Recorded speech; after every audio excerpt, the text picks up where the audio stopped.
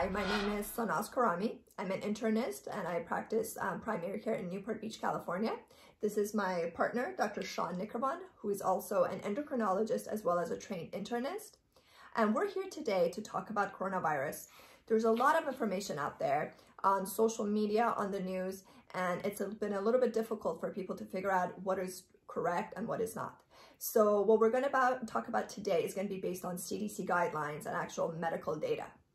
Um, Dr. Nikravan, can you tell us a little bit about what the coronavirus actually is? Absolutely.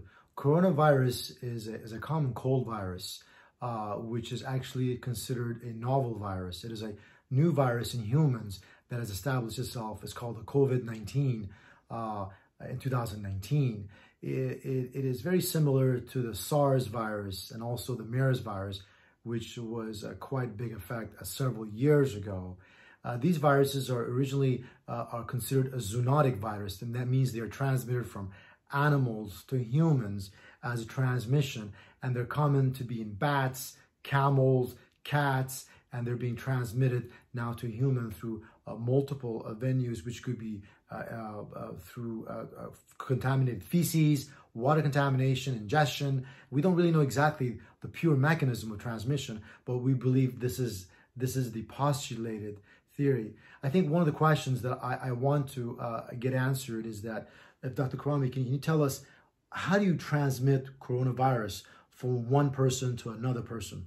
So coronavirus is thought to be transmitted person to person um, by droplets. What that means is as you sneeze or cough, those droplets, if someone else inhales them, um, they can get infected. If someone sneezes on a surface and you touch that surface and you touch your eye, your nose, your mouth, you can get infected. If someone directly coughs on you and it gets into your um, oral orifices, you can get infected. Uh, there's the question of can you get aerosolized infection? If it's in the air, can you just breathe it in? And that is not the current mode of infection. I mean, you know, theoretically, if someone sneezes and you directly go and breathe that air, um, you could be breathing in the coronavirus. But really, the main way that people get infected is through droplets um, and touching a surface and touching their face, which is why we keep emphasizing hand washing. And most importantly, do not touch your face because that's how it gets in.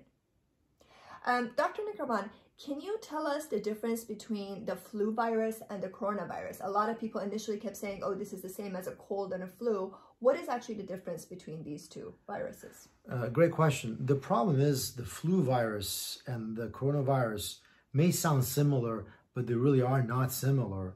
The, the mortality associated with the a flu virus is 0.1%, maybe slightly even more, but usually 0.1%. So that means if there is a thousand cases, 0.1% of that basically means one person uh, will die from the influenza, uh, which is still a sad outcome. But the difference is with the coronavirus is that if uh, the mortality rate initially from China was meant to be at 2%, but we're learning data from Italy and the Middle East, the mortality is anywhere between 3.5 to 4%.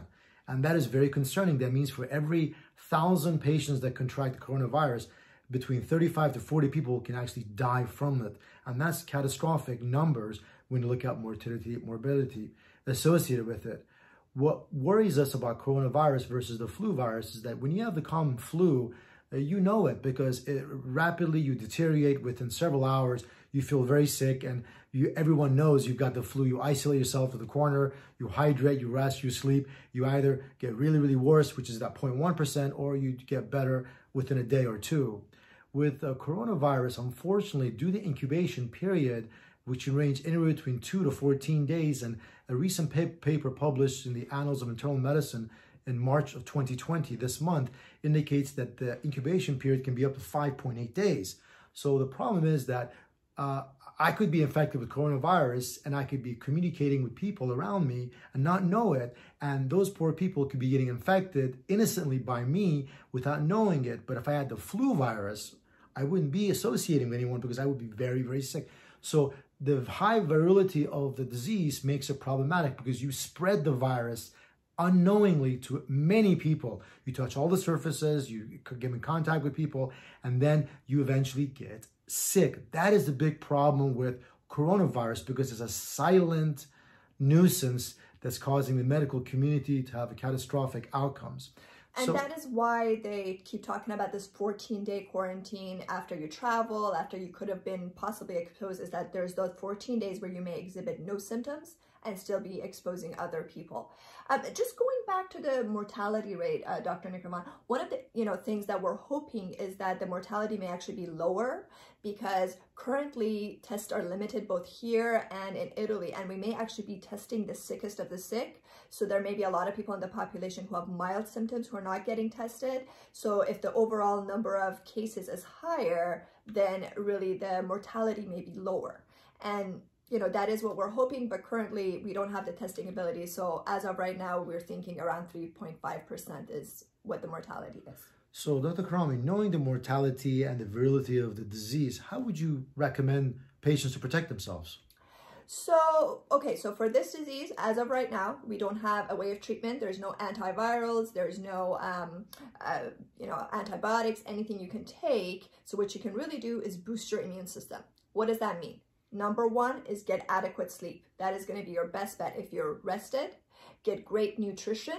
Make sure you're taking a good multivitamin every day, hydrating well, um, and vitamin D. Vitamin D really boosts the immune system, and that is one of the things that we know will help in this situation. Now, earlier, you know, about a week ago and so on, I was sending patients out uh, emails saying, you know, take elderberry. That's an immune booster. But the latest data I just saw coming in today is that actually they do not recommend elderberry because elderberry boosts the interleukins in your system, actually boosts your immune system so much that if you get it, your immune system may have overreact to it and you may actually have a worse outcome.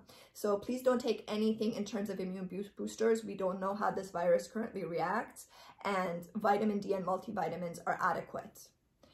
Um, can you tell me, Dr. Nikravan, a little bit about what about if someone gets sick? What do they do? They have symptoms of runny nose or sore throat. What do they do now?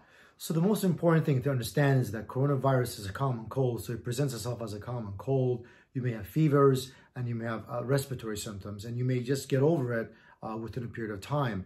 But the most important thing is self-isolation. If you have symptoms, you must isolate yourself because there's a good chance that you may recover on your own. The last thing you want to do is spread the virus. So self-isolation is crucial. Social isolation is crucial. Just because the uh, the offices are closing, you know, your job is like limiting you to. It doesn't mean you can go to the bars and restaurants and etc. We've been recommending patients for now over three weeks to stop traveling, to not go to the airport, to keep themselves in isolation, to stock up on some food and necessary items to minimize their exposure to the outside. don't go out to the restaurants because when you go to restaurants, they're using forks and utensils and whoever's preparing your food, you have no idea if those people are infected or not. So social isolation is the key because that's how you can break the link. If we don't break the link, this will continue. We have to take a step ourselves to prevent this from progression and not depend on others ourselves. So one thing I want to say that what about those patients who have risk factors? How do you go about those risk factor patients? How would you deal with them? In terms of um, testing, you mean? So now let's say you're isolating, you're doing all the right things and you're at home and you have sore throat, you've got a little bit of a dry cough, you're wondering, okay, do I have the coronavirus? So as of right now, our recommendation is to reach out to us, reach out to your primary care doctor, um, let us know the symptoms you're having. If they're mild, we usually tell people, well, let's watch, let's see how you do. Take Tylenol if you have a fever, body aches, avoid NSAIDs, which are Advil, ibuprofen, because people tend to do worse with this uh, disease when taking NSAIDs. If your symptoms get a little bit worse, and especially just like Dr. Nicole was saying, if you do have underlying heart disease, lung disease, kidney disease, then we're going to arrange for you to get tested through Hoag Health Services.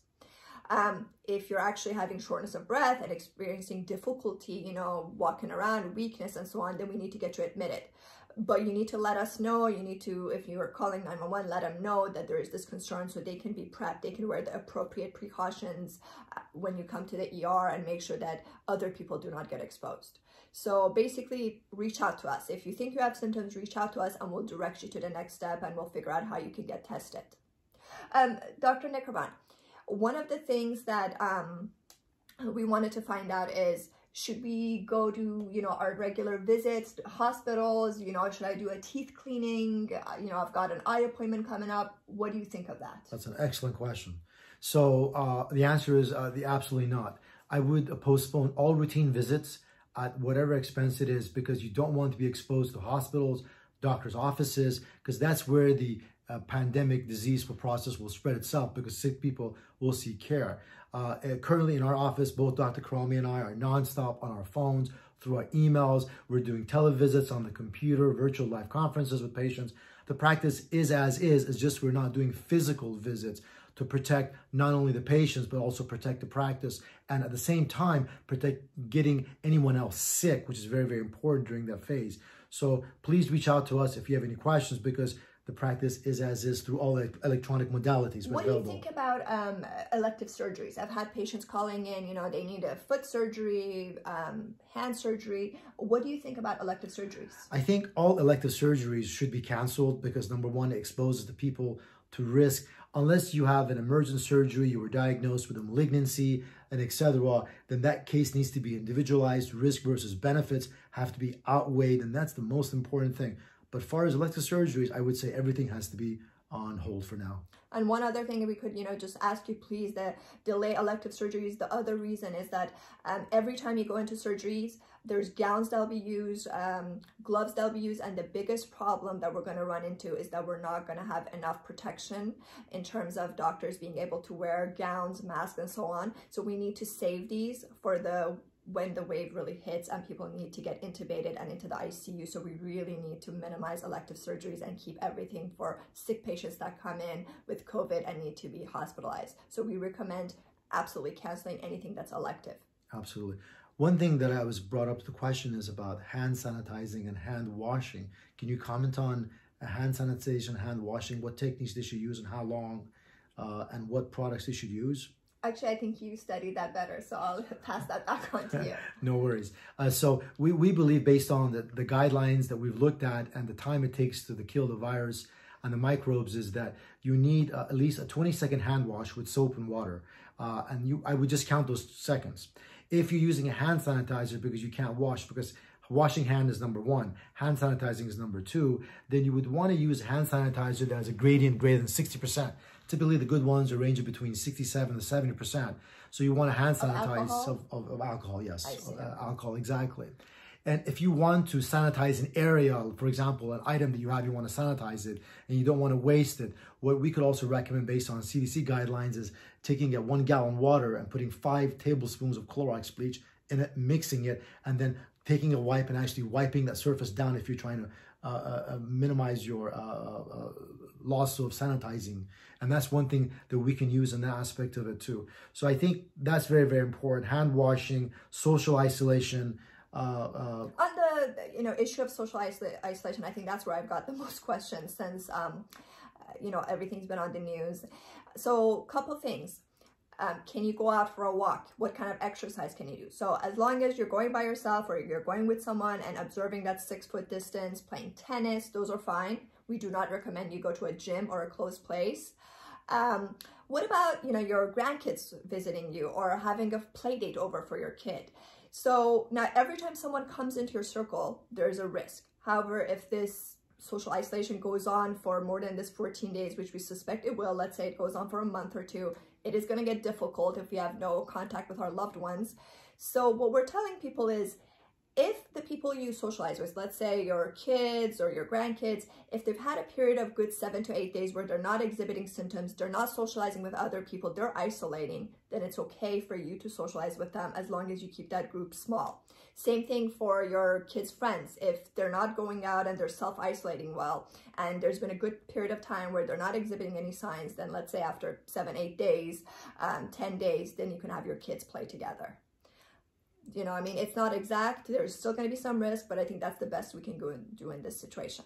So, so the purpose of this video was to bring to you our knowledge. Dr. Khorrami and I are dedicated to our patients and our practice. We have a great staff that are continually working with us throughout the time. And we have together uh, uh most likely over uh, 40 years of clinical training together. So we really care about our patients. We're definitely dedicated to our patients' care. And we took an oath to take care of our practice and our patients. Uh, and we want to make sure your questions were answered. So please don't feel abandoned. We're here with you. We're here for you. And we will do everything necessary to get through this together. And we're a team. Remember, we have to all play a part in this together. We can't depend on anyone. We have to depend on each other to educate each other and protect each other because at the end of the time, we're all human together. And, you know, just to let you know, we're spending somewhere close to, you know, six, seven hours a day almost researching this for new things that come out. I'm on multiple different forums. Dr. Nikravan is in touch with multiple different specialists. So things are changing quickly. And as we get new information, um, we'll bring it to you and we'll send out more videos, more emails, and let you know on anything that we find out. Please feel free to reach out to us as well. We encourage you to share this video with uh, uh, all your friends and family because it's, hopefully it's educational. You're more than welcome to join us and follow us on Instagram in which we'll post the information and also Facebook. I hope this information has been helpful to you. Uh, we will fight and continually to make the best outcomes for us and Thank you guys. You. Thank you.